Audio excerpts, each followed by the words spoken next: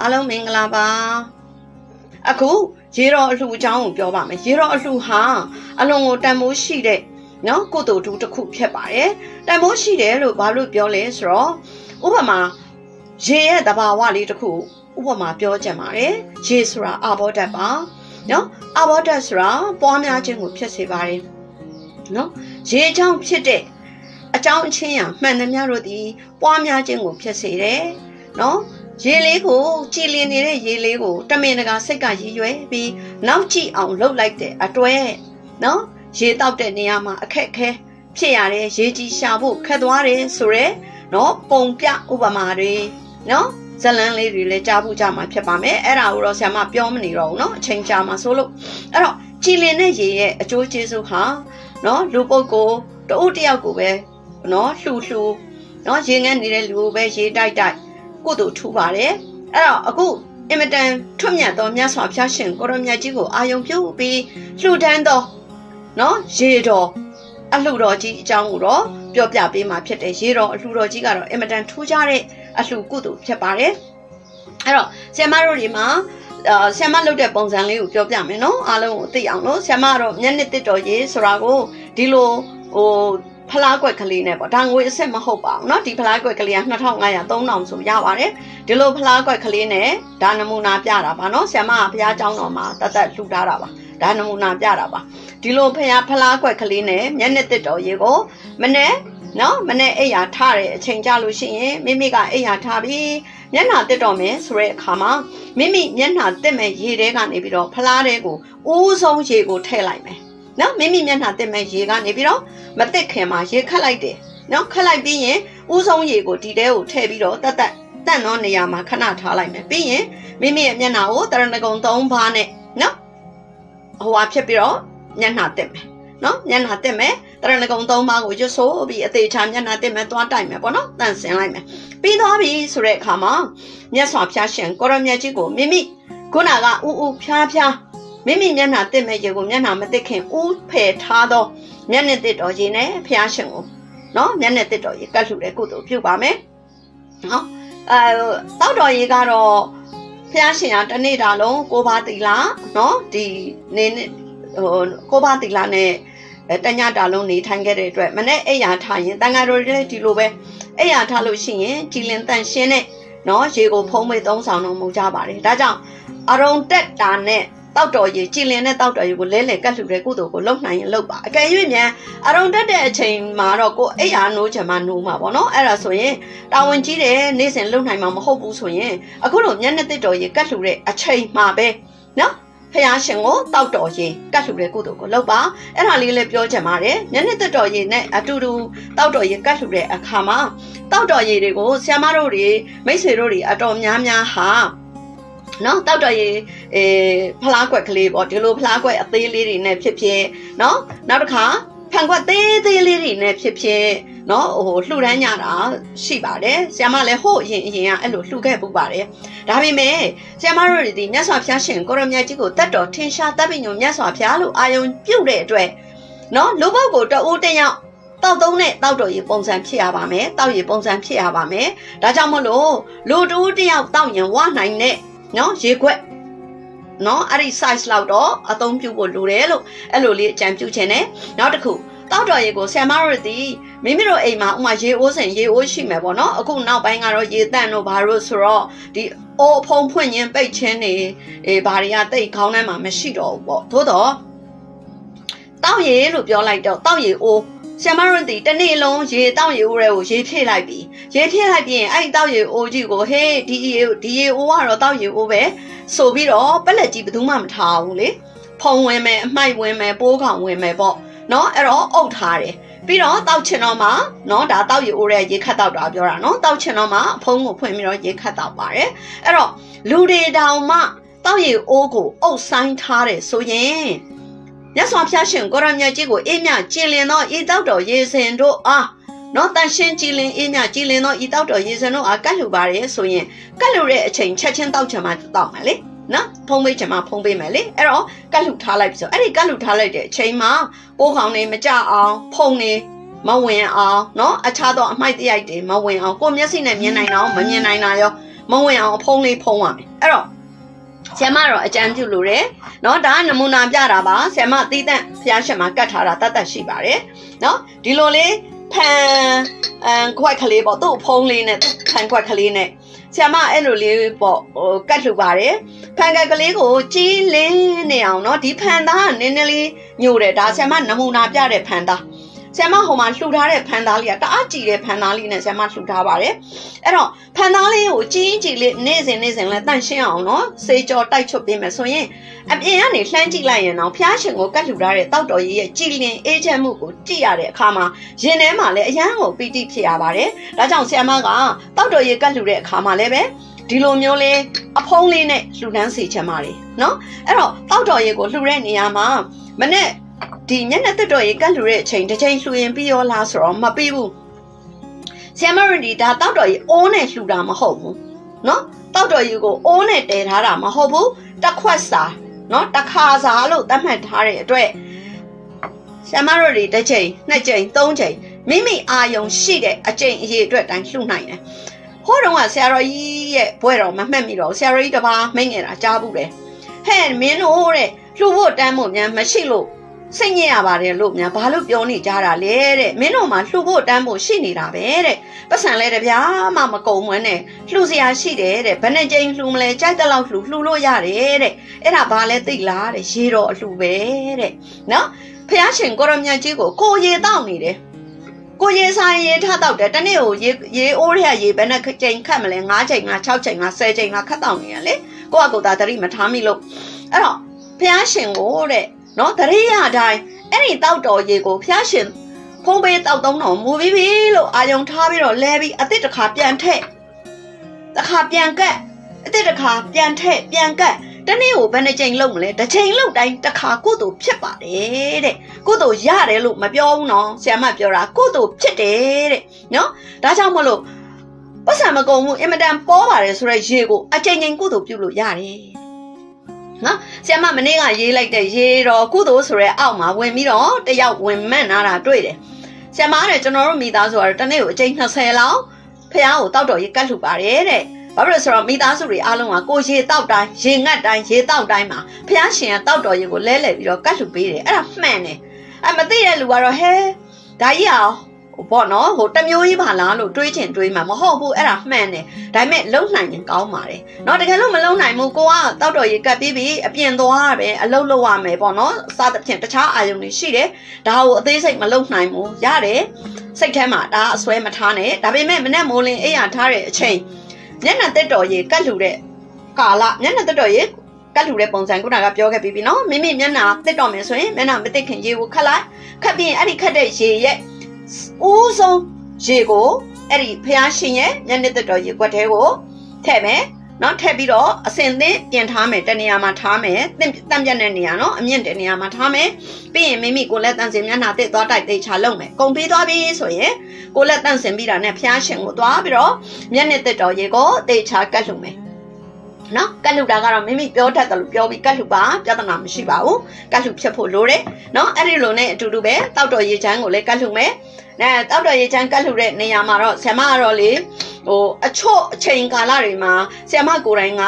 ကုသိုလ်အစီရင်ရရအစီရင်များအနေနဲ့ရင်နှွေးချမ်းကတ်လူခိုင်းတာရှိပါတယ်နော်အဲ့ဒါကတော့အဲ့ဒါတစ်ပိုင်းမှာဒါပေမဲ့နေ့စဉ်ကတ်လူတာကိုတော့ဆ iam ကလေဒီတောက်တော် ရေအေးအေးလေးជីជីလင်းလင်းလေးဒါလေးကိုပဲကတ်လူစေးခြင်းနဲ့နော်ဘာဖြစ်လို့လဲဆိုတော့ဆ iam တို့တဘာဝကြကြစဉ်းစားကြည့်လိုက်မယ်ဆိုရင်မြတ်စွာဘုရားရှင်ကိုရမြတ်ကြီးတို့ရဲ့နော်လက်ထက်တော်မှာလက်ဖက်6ဆိုတာရှိမယ်မထင်ပါဘူးနော်ရင်နှွေးချမ်းဆိုတာလည်းရှိမယ်မထင်ပါဘူးရေတက်တက်တာဖုံးပေးသုံးဆောင်တော်မူတယ်လို့ဆ iam ဒီလိုယူဆပါတယ်ဒါကြောင့်မလို့တတ်တော်ထင်ရှားတပ်ပညုံမြတ်စွာဘုရားရှင်ကိုရမြတ်ကြီးကိုတကယ်ကိုတတ်တော်ရှိနေတဲ့အချိန်ကာလမှာမိမိကလှူဒန်းရတဲ့ကဲ့သို့ရေဆိုးပြီးတော့နော်ဒီလိုလေ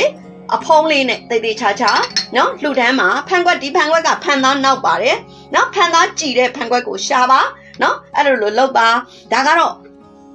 တောက်တော်ရေကတ်လူတဲ့ဟာအဲ့တော့တောက်တော်ရေကိုဘယ်အချိန်တွေမှာထပ်ပြီးကတ်လူရမလဲဆိုတော့အဲ့လိုတောက်တော်ရေကတ်လူဖျားရှိခိုးဝတ်တဲ့အကုန်ပြုတ်လုပ်ပြီးတဲ့အခါမှာမိမိအလုပ်သွားမယ်ကြောင်းသွားမယ်စသဖြင့်ပေါ့နော်အပြင်နေထွက်ရတော့မယ်ဆိုရင်ရပြီသွားပါအဲ့ဒါပြီးတဲ့အခါမှာ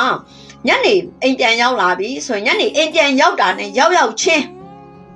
အရင်ဆုံးခြေလက်တွေစစ်ကိုလက်တန့်စင်လိုက်ပြီးရင်ဖះတောက်တော်ကြီးကတ်ဖះတောက်တော်ကြီးဟိုလဲလဲပြီးကတ်ပေါ့နော်ကတ်ပြီးသွားမှမိမိကရေတောက်မိမိရေတောက်တော့မယ်ရေကက်ကိုကင်လိုက်ပြီဆိုတော့အော်ဖះရှင်ကိုမနေ့ကလေးကကတ်ခဲ့တဲ့တောက်တော်ရေကြီးရာဒီချိန်ဆိုရင်ဖះရှင်တောက်သုံးတော်မူလို့ကုံလောက်ပြီနဲ့တူတယ်ငါလဲလဲပြီးပြီးတော့အစ်စ်ပြန်ပြီးကတ်မှပဲပြန်ချထားဖះရှင်ကတောက်တော်ရေဟိုစွန်ယူစွန်ယူပြီးရင်တောက်တော်ရေသွန်း သွန်းပြီးရင်ဖန်ခွက်ကိုတေချာဆေးပြီးရင်အစ်စ်ကြည်လင်တော့နော်ရေတန့်တောက်တော်ရေကြီးလေးကိုထဲပြီးမြတ်စွာဘုရားရှင်ကိုရမြတ်ကြီးဖျားအင်းမြကြည်လင်တန့်ရှင်းသောဤတောက်တော်ရေစင်အားတောက်တုံဖုံးပေးတော်မူပါရှင်မြတ်ဖျားဖုံးတာပြဿနာမရှိဘူးရတယ်နော်အဲ့လိုလေးလုံးပြီးတော့ဖျားရှင်ကိုကတ်မယ်အဲ့ဒါကညနေပြန်လာတဲ့အချိန်နော်အဲ့တော့ညအိတ်ခန်နီညအိတ်ခန်နီကြရင်အဲအဲ့ဒီမတိုင်ခင်ဟာတခုပြောအောင်ဖျားရှင်ကိုနေကင်းပဲ နေကင်းဘက်မှာနော်နေကင်းဘက်ဆိုတာဟာမိမိရေချိုးတာကတခါလေကြာရင်အပြင်သွားမယ်ဆို9နာရီလောက်ချိုးတယ်နော်9နာရီလောက်ချိုးရင်ချိုးပြီးပြီညနေမှအိမ်တန်ရောက်မယ်ဆိုတဲ့ပုံကူမျိုးတွေဟာမိမိရေမချိုးခင်မှာနော်ချိုးတော်ရေအဖြစ်ဖလားတစ်ခွက်နဲ့နော်ချိုးတော်ရေအဖြစ်နဲ့ဒါမျက်နှာတစ်တော်ရေနဲ့ချိုးတော်ရေကိုတော့ဖလားခွက်အတူတူမထားပါနဲ့နော်ခွဲခြားပြီးထားပေးပါဖလားတစ်ခွက်နဲ့မိမိရေမချိုးခင်မှာ ချိုးတော်ရေကိုခုနကမျက်နှာတစ်တော်ရေကိုဥဖယ်တယ်လို့ပဲချိုးတော်ရေအတွက်ဖះရှင်ရဲ့ချိုးတော်ရေအတွက်ဆိုမင်းရေမချိုးခင်မှာခတ်ပြီးတော့ထည့်မယ်ထည့်ပြီးရင်အသားလေးတန့်ပြန်သောနေရာမှာထားမယ်ပြီးရင်မိမိရေချိုးမယ်ကိုလက်တန့်စင်မယ်အကုန်ပြီးပြီဆိုရင်ဖះရှင်အတွက်ချိုးတော်ရေကတ်လှူတဲ့ကုသိုလ်ကိုပြုလုပ်မယ်နော်အရှင်မြတ်စွာဘုရားဤကျင်လင်တန့်ရှင်းသောရေတော်တို့ဖြင့်အရှင်မြတ်စွာဘုရားဤကိုလက်တို့ကိုတုတ်တင်တန့်ရှင်းတော်မူပါဖျားအသုံးပြုတော်မူပါဖျား ချိုးတော်မူပါဖျားဆိုပြီးတော့ကတ်လှူပါမယ်နော်အဲ့လိုကတ်လှူပြီးသွားရင်တော့ရပြီဟုတ်ပြီအဲ့ဒါပြီးတဲ့အခါမှာဒါမနေ့မှညနေတစ်တော်ရေနော်ညနေတစ်တော်ရေဖလားနဲ့ချိုးတော်ရေသုံးတော်ရေဖလားတော့ခွဲထားတဲ့နော်အဲ့တော့ချိုးတော်ရေဖလားချိုးတော်ရေကတ်တယ်တောက်တော်ရေကတ်တယ်အမျက်နဲ့တစ်တော်ရေကတ်တယ်တောက်တော်ရေကတ်တယ်ပြီးတော့ချိုးတော်ရေကတ်တယ်နော်ပြီးတော့ပြန်လာတဲ့အချိန်မှာနော်ပြန်လာတဲ့အချိန်မှာတောက်တော်ရေကိုမိမိရေမတောက်ခင်မှာတောက်တော်ရေကတ်ပြီးတော့မှ နော်ရေတောက်မယ်အဲ့တော့မိမိအပြန်ပြန်လာလို့ရေတောက်တော့မယ်ဆိုရင်အော်မြတ်စွာဘုရားရှင်ကိုရမြတ်ကြီးကိုငါမနဲ့ခရဲကကြည်လင်အေးမြတဲ့တောက်တော်ရေစင်းတွေကိုငါကတ်ခဲ့ပါတယ်ဒီချိန်ဆိုရင်တော့ဘုရားရှင်ကတောက်သုံးတော်မူပြီးလို့ကုံနေလောက်ပြီးငါဘုရားရှင်တောက်သုံးနာတဲ့ရေတွေကိုလဲလှယ်ပြီးတော့အစ်စ်ကတ်လှူမဲဆိုရဲစိတ်နဲ့ထပ်ပြီးကတ်လှူပါနော်အဲ့တော့ဘယ်အချိန်ဘယ်နှနာရီမလိုပါဘူးเนาะဘယ်အချိန်မှမလုံနိုင်လို့ငါတော့အပြင်သွားဖို့နောက်ဆန်တင်းလိုက်တာလည်းမဖြစ်ပါနဲ့เนาะအဲ့လိုလေလှူထဲမှာ ဟုတ်ပြီအခုအရေးကြီးတာလေးရောက်လာတယ်ဘာလဲဆိုတော့ဖះရှင်ရဲ့ခြေဆေးတော်ကြီးခြေဆေးတော်ကြီးဖះရှင်ကနော်မြတ်စွာဘုရားရှင်ကောရမြတ်ကြီးဟာညရောက်လာတဲ့အခါမှာဘုရားရှင်ဟာကျင့်ဆက်တော်မူမယ်အကြောင်းတော်ဘုတ်ကိုမတက်ခင်အကြောင်းတော်ရဲ့အောက်မှာခြေဆေးတော်မူတယ်။နော်ခြေဆေးတော်မူတယ်ဆိုတော့ခြေဆေးတော်ကြီးထည့်ထားတဲ့အိုးထဲကရေကိုခတ်ပြီးခြေဆေးတယ်။နော် အဲ့ဒီခြေဆေးတဲ့အချိန်မှာလည်းပဲဒရဝါတွေကိုအလကားမထောက်ဒုံလဘတရား၅ပါးအကြောင်းကိုဟောပြီးတော့ခြေဆေးတော်မူတယ်။လူဖြစ်ရတာလူဖြစ်ဖို့ခက်ခဲတယ်ရဟန်းဖြစ်ဖို့ခက်ခဲတယ်သာသနာတွင်နဲ့ကြုံကြိုက်ဖို့ခက်ခဲတယ်နော်သာသနာတွင်ကြုံကြိုက်တာတော့သာသနာကိုတန်ဖိုးထားနားလည်ဖို့ခက်ခဲတယ်စသဖြင့်ဒုံလဘတရား၅ပါးအကြောင်းကိုဟောပြီးတော့ခြေဆေးတော်မူတယ်အဲ့ဒီခြေဆေးတဲ့အချိန်မှာတော့မှမြတ်စွာဘုရားရှင်ကအလကားမနေဘူးနော်တရားဟောတော်မူပါတယ်တဲ့အဲ့တော့ အဲ့ဒီခြေဆေးတော်ရေကိုလည်းပဲဆရာမတို့မိတ်ဆွေတို့ကတ်လှူကြရအောင်ဘလို့ကတ်လုံမှာလဲဆိုတော့မြတ်စွာဘုရားရှင်ကိုရမြတ်ကြီးကတော့ညပဲကျိန်ဆက်တော်မူမယ်ကျောင်းတော်ကိုမတက်ခင်ကျောင်းအောက်မှာနော်ခြေဆေးတော်ရေကိုအိုးထဲကနေခတ်ပြီးခြေဆေးတယ်ဆိုတဲ့အတွက်ဆရာမတို့တွေကတက်တော်ထင်ရှားတပ်ပညုံမြတ်စွာဘုရားရှင်ကိုရမြတ်ကြီးတကယ်ကိုတက်တော်ထင်ရှားရှိနေတဲ့သာသနာတော်မှာနေထိုင်နေရပါတယ်ဆိုတဲ့စိတ်နဲ့ကိုလှူဒန်းရမှာဖြစ်တယ်။ဒါကြောင့်မလို့ဆရာမတို့ကဘာလုပ်မလဲဆိုတော့မြေအိုးလေးနဲ့ပြင်ဆင်ပါမယ်။နော် မြေအိုးလေးနဲ့ပြင်ဆင်ပါမယ်။မြေအိုးလေးမှာတော့ဆ iam ကလေအိုးလေးတွေမြေအိုး30လေးတွေရှိတဲ့အတွက်မမှားအောင်လို့တွေ့ကြမလားမသိဘူးနော်ဆ iam ဒီမှာနော်ခြေဆေးတော့ရေးပါဖះလို့နော်ဖះရှင်ကိုရှောက်ထားရေးသားထားတာဖြစ်ပါတယ်ခြေဆေးတော့ရေးပါဖះလို့နော်အဲ့တော့အဲ့ဒီတဲကိုရေကိုထဲထည့်ပြီးရင်မြတ်စွာဘုရားရှင်ကိုတော်မြတ်ကြီးကိုမိမိအိယာဝင်ငံနီး နော်မိမိအိယာမဝင်ခင်မှာအဲ့ဒီရေတော်ကိုထည့်ထည့်ပြီးရင်ဒီမှာခြေဆေးတော်ရေခတ်ဖို့နော်ခြေဆေးတော်ရေခတ်ဖို့အဖုံးပြီးရင်နော်ခြေဆေးတော်ရေကိုခတ်ပြီးတော့နော်မြတ်စွာဘုရားရှင်ခြေတော်ဆေးနိုင်ဖို့အတွက်အဲ့တော့ခြေဆေးတော်ကြီးကတ်လှူတဲ့နေရာမှာဘလို့ကတ်ရမှာလဲလို့မေးတယ်ဘလို့မှထူးထူးဆန်းဆန်းကတ်เสียမှာမဟုတ်ပါဘူးเนาะခြေဆေးတော်ကြီးကတ်ဖို့ပြင်ဆင်မှုကတော့ အခြားသောမျက်နှာသက်တော်ရည်ချိုးတော်ရည်သုံးတော်ရည်တွေနဲ့မတူဘဲနဲ့နော်အိုးလေးနဲ့ကတ်လူစေချင်ပါတယ်ဖះရှင်ဟာနော်ဖះရှင်ဟာခြေဆေးတော်ရည်ကိုနော်အိုးတဲ့ကနေရေအိုးတဲ့ကနေခတ်ပြီးဖះရှင်ဟာခြေဆေးတော်မူတယ်လို့စာထဲမှာဖတ်ဖူးတဲ့အတွက်ဆီယမကတော့အခုလက်ရှိမြတ်စွာဘုရားရှင်ကိုရမြတ်ကြီးတတ်တော်ထေရှားသာသနာတော်မှာဆီယမတို့မိတ်ဆွေတို့ရှိနေတယ်လို့စိတ်ထဲမှာကိုရည်စူးလိုက်ပြီးတော့ နော်ခြေဆွေးရရေကိုဒီလိုမြေအိုးလေးနဲ့ပြုတ်လုပ်ပါတယ်အဲ့ဒီမှာခြေဆွေးရရေအတွက်ပြုတ်လုပ်တဲ့မြေအိုးလေးကိုသတိထားရမှာကနော်တချို့အိုးလေးတွေကအဝကျင်းတယ်နော်ဒီအိုးကတော့အဝကျဲတယ်အဲ့တော့ဘာဖြစ်လို့အဝကျဲတာလေးနဲ့လှုပ်တဲ့တယ်လဲဆိုတော့နော်ကိုထားရမယ့်ခွက်ကဒီအိုးရဲ့အဝတွေကိုဝင်နိုင်ရမယ်စတိမလုံးရအောင်နော်စတိမဟုတ်ဘူးစတိမဟုတ်ပဲတကယ်ဝင်ရမယ်ဥမာပေါ့ ဒီအိုးလေးတော့ရပြီခွက်ကြီးကြီးတင်ထားတယ်ခတ်မယ်လေအိုးလေးကနေယူခတ်ပြီးတော့ခြေဆေးတော့မှာမြတ်စွာဘုရားနော်ဒါကြောင့်မလို့ဒီအိုးအဝတွေကိုမိမိထားရတဲ့ခွက်ကဝင်နေရမယ်အဲ့ဒါဆိုရင်ရပြီဟုတ်ပြီခြေဆေးတော်ရင်ကတ်လူတဲ့အခါမှာလည်းပဲညမိမိမအိတ်ခင်မှာနော်မြတ်စွာဘုရားရှင်ကိုတော်မြတ်ကြီးကိုအသိအချာအာယုံဆိုင်ပြီးအာယုံပြုတ်အာယုံညှက်ပြီးတော့မြတ်စွာဘုရားရှင်ကိုခဏလေးနော်ဒီဖုန်းလေးဟောလောက်လာ မြတ်စွာဘုရားရှင်ကိုအာယုံပြုပြီးတော့နော်အရှင်မြတ်စွာဘုရားမြတ်စွာဘုရားရှင်ကိုရမြတ်ကြီးကျိန်းဆက်တော်မူရာကျောင်းတော်သို့မကြွမီခြေတော်ဆင်းရန်တွေဤခြေဆေးတော်၏အိုအားမြတ်စွာဘုရားရှင်အားစက္ကပ်လှူဒန်းပါ၏ဖျားတပည့်တော် လှူဒန်းစက္ကပ်တော်မူသောဤခြေဆေးတော်ရေဖြင့်မြတ်စွာဘုရားရှင်ကိုရမြတ်ကြီးခြေတော်အားစေကျော်တန့်စင်တော်မူပါရှင်မြတ်ဖျားပြင်ထားရလိုက်နော်အဲ့လိုလေးပဲထားလိုက်ရပြီအဲ့လိုထားထားလိုက်ပြင်ပြီးပြီဒါတခြားမိမိပြုတ်ွယ်တွေရှိရင်လည်းဆက်လုပ်ပေါ့နော်အဲ့တော့အဲ့လိုအဲ့လိုလေးလှူဒန်းထားမယ်ပြီးရင်မနေ့ကျရင်မျက်နှာတစ်တော်ကြီးကတ်တော်မယ်ဆိုရင်အဲ့ဟာထတာနဲ့မျက်နှာတစ်တော်ကြီးမကတ်ခင်မှာ ခြေဆေးတော်ကြီးကိုစွန့်ရမယ်စွန့်ပြီးတော့ခြေဆေးတော်ကြီးအိုးကိုတနေရာမှာမှောက်ထားတိမ့်ထားမယ်ပေါ့နော်တနေရာမှာအဲ့တော့ခြေဆေးတော်ကြီးအိုးဘာမှထားရမလဲဆိုတော့ဖះရှင်ရဲ့ရှေ့တဲ့တဲ့မှာထားဖို့မလိုဘူးနော်ဘာဖြစ်လို့လဲဆိုတော့ဖះရှင်ဟာထိုင်တော်မူတဲ့ပလင်တော်ရဲ့ရှေ့မှာထားတာမဟုတ်ဘူးခြေဆေးတော်ကြီးကကျောင်းတော်ရဲ့အောက်မှာနော်စံကျောင်းတော်ကိုကျင်းတော်မူမဲ့စံကျောင်းတော်ကိုမကြွရောက်မိမှာကျောင်းတော်ရဲ့အောက်မှာသာခြေဆေးတော်မူတဲ့အတွက် ဆရာမတို့မိတ်ဆွေတို့ရဲ့ဖះကျောင်းတော်မှာခြေဆေးတော်ရဲ့ကိုစက်ကလှူဒန်းတဲ့အခါမှာဖះရှင်ရဲ့ကျောင်းတော်ရဲ့ဘေးမှာထားလို့ရပါတယ်အချို့ဖះရဲ့ကျောင်းတော်မြန်နော်သိငယ်တဲ့ကျောင်းတော်ဖြစ်ခဲ့မယ်နေရာကလည်းကျင်းခဲ့မယ်ဆိုရင်သိတဲ့နော်ခုံလေးတစ်ခုံနဲ့ဇပွဲလေးတစ်ခုနဲ့နော်ပြင်ဆင်ပြီးတော့အာယုံပြုတ်ပြီးဘေးမှာထားလို့ရတယ်အဲတောက်တော်ရေကတ်လှူတဲ့နေရာနော်ညနေတက်တော်ရေကတ်လှူတဲ့နေရာ အဲ့ဒီနေရာတွေမှာမထားပါနဲ့နော်ခြေဆေးတော်ရေကိုတော့ဖះเจ้าတော်ရဲ့ဘေးနေရာမှာเนาะထားလို့ရပါတယ်ဆရာမတော့ဘေးမှာပဲထားပါတယ်เนาะအဲ့လိုလေးထားပြီးတော့မြတ်စွာဘုရားရှင်ကိုခြေဆေးတော်ရေကတ်လှူပါနော်ကတ်လူတဲ့ခြေဆေးတော်ရေတညတာဒီတိုင်းပဲထားပြီးတော့မနေ့မိုးလင်းအိမ်ရထားတဲ့အခါမှာတော့အဲ့ဒီခြေဆေးတော်ရေကိုဆွန့်လို့ရပါပြီနော်စွန့်ပြီးတဲ့အခါမှာတော့အိုးကိုတနေရာမှာမှောက်တန့်ရှင်းအောင်ထားပြီးတော့သေချာတိမ်ထားမယ် ပြီးရင်ညကြမှာပဲမိမိအိတ်ခန်လေးမှာခြေဆေးရရုံနောက်တစ်ချိန်ကတ်မယ်အဲ့တော့ဟုတ်ပြီအားလုံးနော်အကုန်ချုပ်လိုက်မယ်ဆိုရင်မနဲ့မိုးလင်းလာတဲ့အခါမှာမိမိမျက်နှာတစ်တော်မဲ့ရေထဲကနေဥဖဲပြီးဒီဖလားကွက်ထဲကိုရေဥတင်ပြီးတော့မြတ်စွာဘုရားရှင်အတွက်မျက်နှာတစ်တော်ရေကတ်လှူဖို့ပြင်ဆင်มาဖြစ်ပါတယ်အဲ့ဒါနဲ့အတူနော်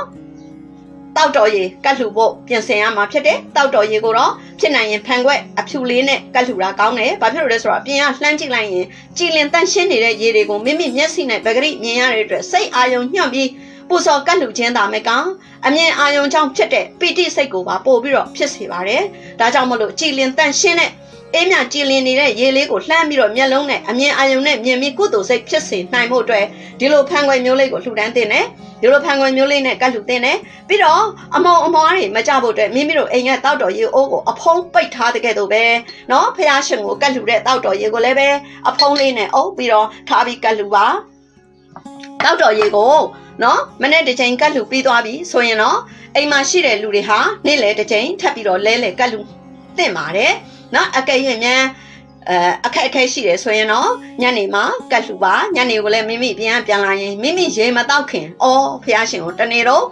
မနေ့ကလေးကကတ်လှူခဲ့တဲ့တောက်တော်ကြီးနော်ဖះရှင်ဟာတောက်သုံးလို့နော်ဖုံးပေးတောက်သုံးတော့မူလို့ကုံလောက်ပြီးငါတောက်တော်ကြီးဖြစ်အောင်မှာဆိုရဲစိတ်နဲ့နော်ဖြစ်ပြီးတော့ကတ်လှူပါအဲ့တော့ အိမ်မှာရှိနေတဲ့လူတွေကတ်လှူပေးနိုင်မယ်ဆိုရင်တော့မနေ့စောစောမျက်နှာတစ်တော်ရင်နဲ့အတူတစ်ချိန်နော်နေ့လေကိုချိုးတော်ကြီးကတ်လှူတဲ့အချိန်နဲ့တစ်ချိန်အဲ့တော့ချိုးတော်ရီကတ်လှူတဲ့နေရာမှာလည်းပဲနော်ဖလားတစ်ခုနဲ့ချိုးတော်ရီကိုကတ်လှူပါချိုးတော်ရီကိုကတ်လှူတာလည်းပဲနေခင်းပဲအဲ့တော့အချိုးကအိမ်ကနေမထွက်ခင်မနေ့ဖက်မှာ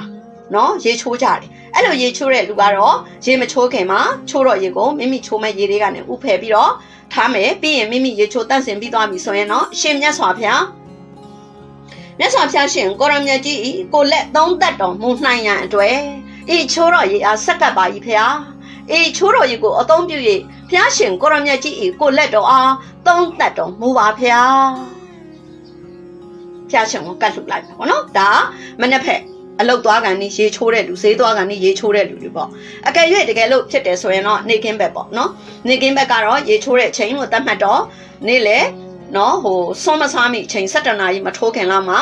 နော်အဲ့ဒီချိုးတော်ရေကိုကတ်လှူတာပို့ပြီးတင့်တော်ပါတယ်နော်အဲ့တော့ဆ iam ပြောချင်တာကတော့မြတ်စွာဘုရားရှင်ကိုလှူဒန်းတာဟာ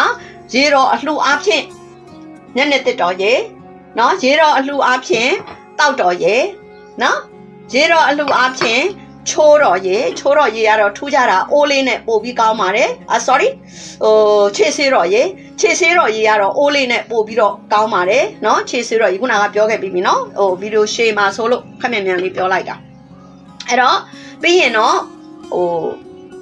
ချိုးတော်ရေသုံးတော်ရေကတော့ရတယ်ဖလားနဲ့လည်း အဲကတ်လူလို့ရပါတယ်နော်ချိုးတော်ရေသုံးတော်ရေကိုတော့နေ့လေဒါမှမဟုတ်ရင်မိမိမနေ့ဖက်ရေချိုးရင်တော့မိမိရေမချိုးခင်ဥဖယ်ပါနော်နေ့လေရေချိုးရင်နေ့လေရေမချိုးခင်ဥဖယ်ပါဥဖယ်ထားတော့ရေနဲ့ဘုရားရှင်ကိုချိုးတော်ရေသုံးတော်ရေကိုကတ်လူပါကိုလက်သုံးသက်တော်မူပါဖျားလို့ပြောပြီးတော့ကတ်လူရမှာဖြစ်တယ်အဲ့တော့အဲ့ဒီလိုလှူဒန်းတဲ့ရေအလှူတော်ကြီးဟာဇာတာရှင်တအိုးအတွက်ပုဂ္ဂိုလ်တအိုးတယောက်အတွက်နော်ခဏရသားသမီးများအားလုံးပူဇော်တော်သူ လှူဒန်းတော်သူတွေဟာရေအလှူတော်တွေဟာတနေ့မှာအချိန်ချင်းအကြောင်းအရာအမျိုးမျိုးခေါင်းစဉ်အမျိုးမျိုးနဲ့လှူဒန်းခွင့်ရတဲ့အတွေ့နော်အဲ့ဒီလှူဒန်းသောပုဂ္ဂိုလ်တို့သည်အာဘောဓာတ်ရဲ့အင်အားကြောင့်မိမိမှာရှိနေတဲ့ကောင်းမွန်သောစီးပွားဥစ္စာတို့သည်အလှည့်အမြန်ပွားစီတိုးတက်ပါတယ်နော်နောက်တစ်ခါရေရဲ့ကြည်လင်သောအင်အားအကြောင်းကြောင့်စိတ်တွင်ညှဉ်းနှွမ်းမှုများပယ်ပြောက်ပြီး စိတ်ချမ်းသာခြင်းစိတ်ကြည်လင်အေးချမ်းခြင်းကိုရရှိစေပါတယ်။ဒါကြောင့်မလို့ဆ iam ကတော့ပြောချင်ပါတယ်။အခြားသောငွေကြေးကုန်ကြတဲ့အလှတွေကိုလှူနိုင်သူတွေကလည်းလှူကြပါလှူနိုင်ရင်ကောင်းပါတယ်။ဒါပေမဲ့ငွေကြေးမရှိလို့ငါတော့ဥစ္စာဒါနတွေလည်းမရှိဘူး။ဒါကြောင့်ငါမှလှူခြင်းနဲ့မလှူဘူးဆိုတဲ့ပုံကိုယ်တွေတပြားမှကုန်စရာမလိုပဲနော်ရေတော်အလှကိုနေ့စဉ်နေ့စဉ်သရတရားထက်သန်စွာနဲ့လှူဒန်းသွားပါ လှူဒန်းရင်လှူဒန်းသလောက်နော်ထင်ရှားတဲ့အေးချမ်းခြင်းตาယာခြင်းတိုးပွားခြင်းဆိုတဲ့အကျိုးတူတွေဖြစ်ပေါ်ပါတယ်အသေးချာဆောင်ရွက်သွားကြပါနော်အားလုံးကိုဝင်ရောက်နားထောင်ပေးကြတဲ့သူတွေအားလုံးကိုရေတော်အလှဆိုတဲ့ကုသိုလ်အကြောင်းလေးကိုပြောဆိုရင်းအားလုံးညီကုန်းချုပ်ပါတယ်အားလုံးကိုကျေးဇူးတင်တယ်